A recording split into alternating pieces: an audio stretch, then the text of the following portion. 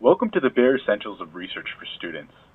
My name is Arangan Lingham, and today I'll be giving a talk titled Introduction to Medical Statistics. The goal of today's talk is to introduce students to medical statistics available in research and literature. However, I will not be covering how to perform statistical analyses.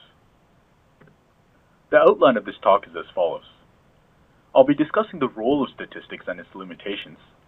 I'll do a brief overview of different variable types, and then move on to discuss descriptive statistics, including frequency tables, measures of central tendency, and measures of dispersion. The next topic will be inferential statistics, including confidence intervals, hypothesis testing, and two examples of very commonly used statistical tests, which are the student's t-test and the chi-squared test. The role of statistics. Statistics are an incredibly useful tool to help you objectively assess your results and support your conclusions. However, they suffer from a number of limitations. They're heavily reliant on good study design and are very vulnerable to bias in methodology. Thus, higher levels of evidence in study design will limit bias in statistical results. To illustrate this further, on the right I have the levels of evidence pyramid, with the top of the pyramid being systematic reviews and randomized control trials. These are at the top of the pyramid because based on their study design, they limit bias more so than the lower studies. Cohort studies and case control studies, although are very powerful, are more prone to bias. Therefore, it's very important to always consider the statistical results in the context of a study design because if the study is a higher level of evidence, the statistical result is and the conclusion that can be drawn is more reliable. The other thing I want to mention is that statistics only suggest relationships.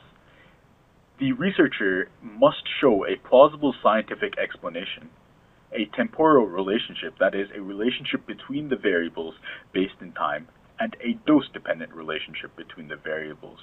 These are necessary to again support the researcher's conclusion. Now I'd like to do a brief review of variable types. There are independent and dependent variables. The independent variable is the variable that we control or change. The dependent variable is the variable that we measure. So in the question, does smoking cause lung cancer, smoking is the independent variable and lung cancer is the dependent variable. Another organizing system for variable types is based on the type of data we collect. There are categorical variables and interval variables. This distinction is made on whether we know the distance between data points. So in an interval variable, for example weight, there is a set distance between any given point that we understand and know. On the other hand, in a categorical variable, there is no known set distance between data points. The categorical variable can be further subdivided into nominal and ordinal. Nominal is when there is no natural order in the variable, as well as not having any set distance between data points. So an example of this would be gender or race. Whereas in ordinal, although there's no set distance between data points, there is a natural order. So an example of this is a pain score. And although the pain score 1 to 5 is numeric, we need to be careful not to uh, get confused with an interval variable because the difference in a 1 to 5 pain score of the difference between 1 to 2 is not necessarily the same as the difference between 4 to 5. Hence demonstrating that we don't have a set distance between points, but there is a natural order.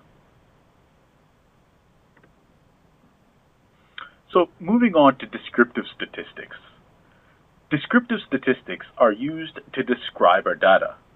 And depending on the type of variable, there are different ways in which we can describe our data. For categorical variables, the most useful way is a frequency table. So the frequency table is fairly straightforward in that it simply describes the frequency and percentage of the data point we collect. So this is a frequency table of a study done looking at types of anti-clotting medication that 10 patients are on. So we have a total frequency of 10, that's our sample size, and the drugs they're on. So for example, two patients are on clopidogrel, which makes 20% of the total sample size. Descriptive statistics for interval variables are slightly more complicated.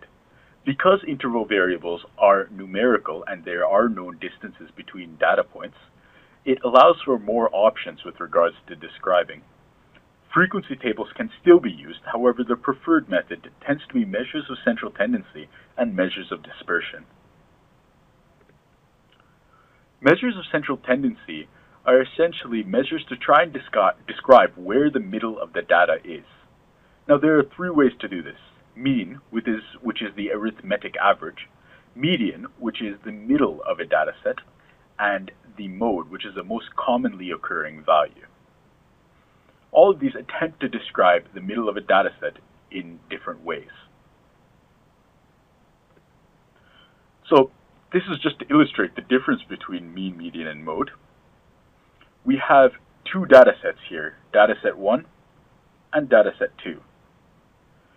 As you can see just immediately by taking a look, dataset 2 is more spread out than dataset 1. This will result in differences between the mean, median, and mode. So, as we discussed in the previous slide, mode is the most commonly occurring value, denoted here by the red line. The median is the middle data point from the entire data set, which is the green line. And the mean is the arithmetic average, which is where you add up all the data points and then divide by the total sample size. So as you can see, mean, median, and mode are all effective ways to describe a dataset, however, differ greatly based on the spread of the data.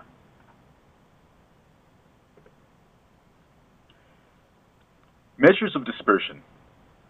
Measures of dispersion are essentially a measure of how spread out data is. Now we describe the spread of data uh, in two ways, using variance and standard deviation. Mathematically, variance is the average difference of all the data points from the sample mean squared, and standard deviation is the square root of the variance. But the take-home message here is that both standard deviation and variance describe how spread out data is, and the greater the standard deviation, the more spread out the data set.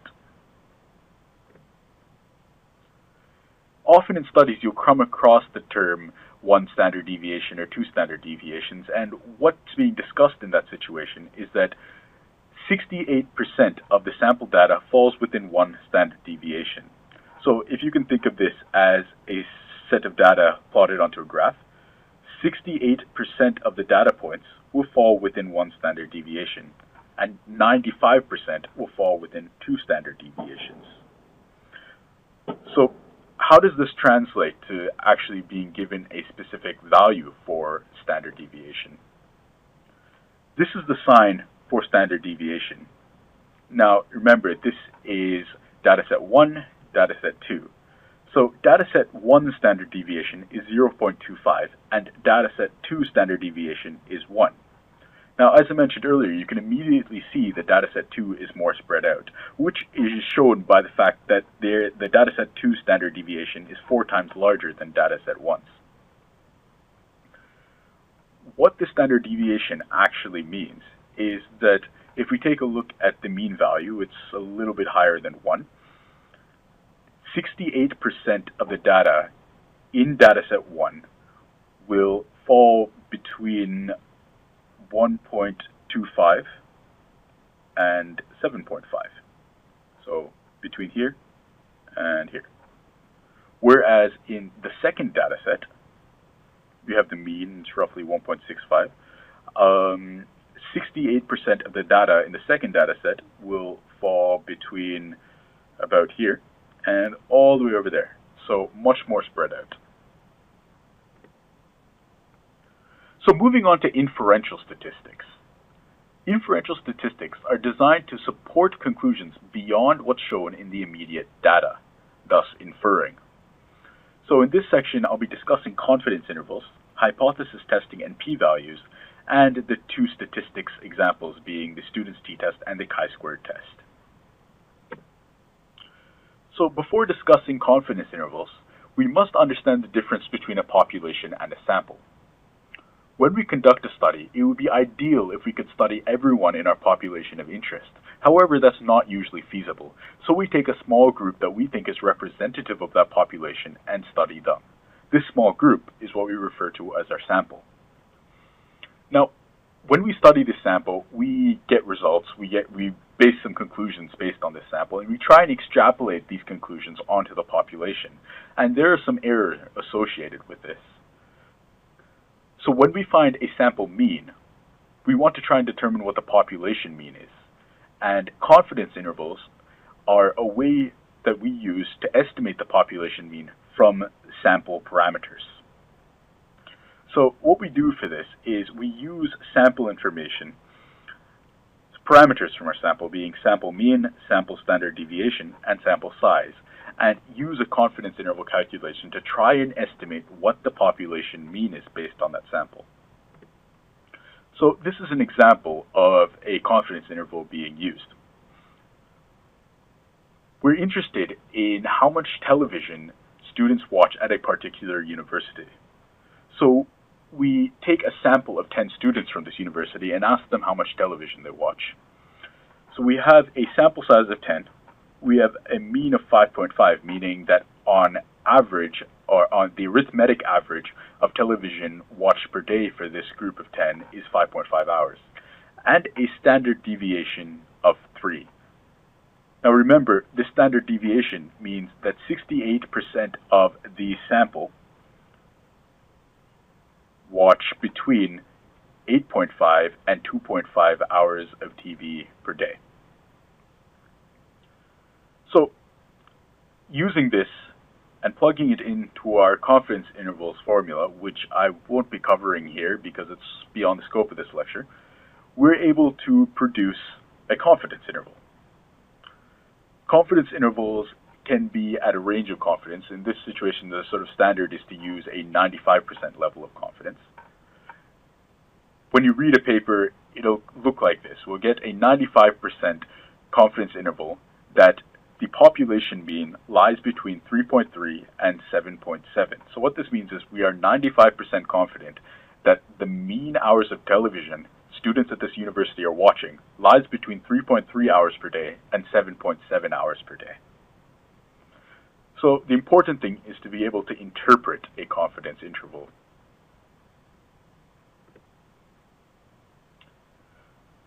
I'd like to discuss hypothesis testing next. Hypothesis testing is used when we're trying to compare groups. So in the situation we're comparing means between two groups, the null hypothesis is that there is no difference between the groups. The alternative hypothesis is that there is a difference between the groups. And generally, when we do statistical tests, we're trying to find either evidence for or against the null hypothesis. This ties in quite well with p-values, which I know is quite a feared term among students. The p-value is simply the probability that the observation is caused by random chance. So, for example, we have a group that smokes and a group that doesn't smoke, and we're interested to know whether there's a higher incidence of lung cancer in the smoking group. Based on our observations, we have seen that there's a higher incidence of smoking in higher incidence of lung cancer in the smoking group, and we've run a statistical test. And the result from the statistical test tells us that there's a p-value of 0.05. This means that there's a 5% probability that this observed difference is due to random error and is not true. So if there's a 5% probability that this observation is due to random error, then this means there's evidence against the null hypothesis. Because if there's only a 5% chance that there is no difference, then the alternative hypothesis is more likely. So how did we come to this p-value? This leads us on to statistical tests which we use to compare groups. I'm talking about two examples today, the student's t-test and the chi-squared test. The student's t-test and the chi-square test are used to compare groups, but the choice of statistical tests is usually dependent on the outcome you're looking for, as well as the type of data. The student's t-test is used when there's one independent categorical variable, being the group, and one dependent interval variable, for example, weight. In the chi-square test, we use this test when there's one independent categorical variable, being groups, and one dependent categorical variable, for example, drugs names or colors or gender. So the chi-square test is used normally in situations where we have a lot of categorical variables and we're using frequencies to describe our data. So discussing the student's t-test first. I have an example to try and illustrate this, where we have a, a low-fat diet intervention where group A is on a new low-fat diet and group B is our control group on a normal diet. Each group has a sample size of 10. The mean weight in group A is 71.9 kilograms, whereas in group B it's 90.7 kilograms. So immediately we can see a difference in weight. However, we can't be certain if there's a true difference between the two groups or it's just based on random chance or due to small numbers or any other number of errors or bias. The standard deviation in group A is greater. So we run a student's t-test for the equality of means, trying to determine if the means between these two groups is equal. We know that the mean difference is 18.8, and student's t-test gives us a figure, a p-value of 0.006. What this means is that there is a 0.6% chance that the difference we've observed between these two groups is due to random chance. So this is evidence against the null hypothesis and thus is supporting the alternative hypothesis, which is that there is a difference between the two groups. This is an example of a chi-squared test. So the question here is, is there a difference in anti-clotting drugs prescribed between two hospitals? So we have hospital A and hospital B, and we have 15 participants from each hospital. These participants have been surveyed to see what anti-clotting drugs they're currently on. So in hospital A, we have 3 on aspirin, 1 on clopidogrel, and 11 on warfarin, whereas in hospital B, we have 1 on aspirin, 11 on clopidogrel, and 3 on warfarin. So we have roughly a frequency table here and the chi-square test being performed. Now, again, the chi-square test is looking at whether there's a true difference between A and B, or whether these observed differences are due to random chance. The p-value we've received is 0.001, meaning that there's a 0.1% chance that the difference we're observing between these two groups is due to random chance. Thus, again, there is evidence against the null hypothesis and evidence for the alternate hypothesis, being that there is a difference between these two groups. So just to summarize what we've discussed today, we've discussed the role of statistics, including its limitations, and done a quick review of different variable types. We've gone into descriptive statistics, including frequency tables, measures of central tendency, and measures of dispersion. We've then gone on to discuss inferential statistics, including confidence intervals, hypothesis testing, and given two examples of a very commonly used statistical test, being the student's t-test and the chi-squared test. Thank you very much for listening to this online lecture. Please share this with your fellow students and do post any comments if you have any questions, concerns, etc.